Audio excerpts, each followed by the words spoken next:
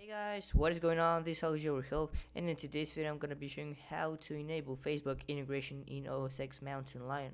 So this was a feature that Apple did miss, however they did integrate Twitter. As you see here I have the option to tweet from my notification center on OS X Lion and so in this video I'm gonna be showing how to do that with Facebook. But first of all I wanna quickly give a shout out to iTech Vlogs. He's a great friend on YouTube and he does great videos. Uh, he started a while back ago and he does videos like he does Photoshop tutorials tutorials as you see here. Um, great tutorials actually he also does unboxings game reviews and pretty much all that stuff that I do to me uh, to my channel as you see here. He has video reviews and all that stuff. So yeah guys please go ahead and check check him out. He's a great guy. And if you like this his videos definitely um, consider subscribing. And so yeah. So you'll have to go into the link down in the description so that um, you can download this DMG file for integrating Facebook. And once you've downloaded that, just go ahead and double tap on it to open and it'll open this and this is the installer. So go ahead and click continue continue continue agree and it's gonna take 1.1 megabyte. Click on install then just type in your password and it's gonna prepare the install. Um, it should take about maybe about 30 seconds. It does say 3 minutes.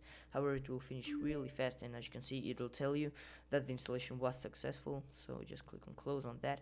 And now you won't see anything different. As you can see you still have only Twitter. So you have to go under your system preferences then go under mail contact and calendars. Just let this load. And the only thing that you will see different after installing that package is now Facebook integration.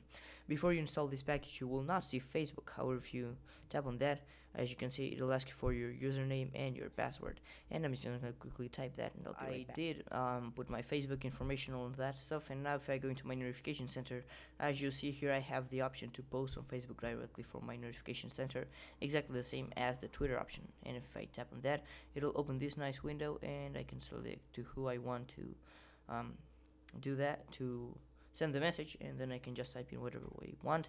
I can add the location and post and so that's exactly the same as the Twitter one and it does work quite good.